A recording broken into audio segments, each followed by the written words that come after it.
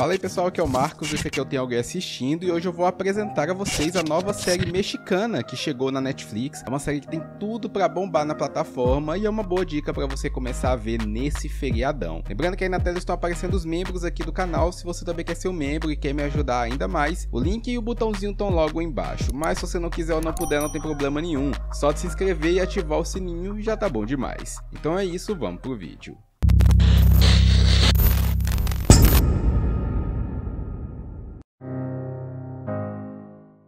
Pacto de Silêncio é a nova série mexicana que acabou de chegar na Netflix. Ela tem 18 episódios no total, mistura romance, suspense, é repleta de reviravoltas e segredos também. Se você gosta de toda essa mistura, você provavelmente vai querer ver essa série aqui. A história de Pacto de Silêncio gira em torno de Brenda Ray, uma influenciadora de mídia social que desfruta de uma vida de sucesso, mas ela carrega consigo um passado bem sombrio. Abandonada por quatro alunas de uma escola particular quando quando era apenas um bebê. Brenda foi adotada por uma mulher caridosa e cresceu na miséria, mas com amor e apoio de sua nova família. O enigma de sua origem é o motor dessa trama envolvente que é a série Pacto de Silêncio. Brenda descobre que a diretora da escola onde a sua mãe biológica estudou desempenhou um papel fundamental em ocultar a gravidez e, consequentemente, no abandono dela quando criança. Com determinação e sede de vingança, Brenda se lança em uma missão para encontrar e confrontar cada uma das quatro mulheres que a deixaram para trás.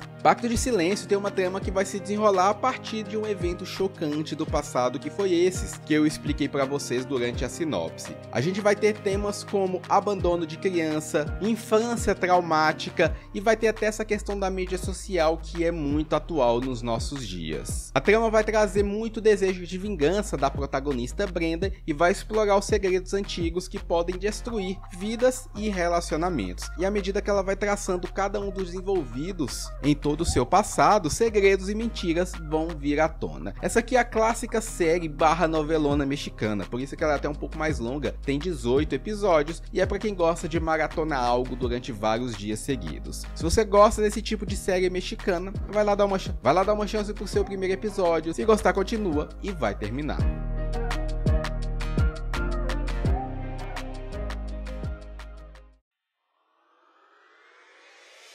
Mas aí, curtiu essa dica? Vai querer ver essa série ou vai deixar pra lá? Não curtiu tanto assim? Comenta aí pra gente saber e bora conversar sobre ela. Lembrando que aí na tela estão aparecendo as minhas redes sociais. Quem quer ter um contato mais próximo comigo, é só ir lá e me seguir que eu tô esperando por todo mundo. Também quero te lembrar de dar o like no vídeo, caso tenha gostado do canal, se inscrever e ativar o sininho. Te vejo já já em mais um vídeo aqui no Tem Alguém Assistindo. É isso, valeu e até mais.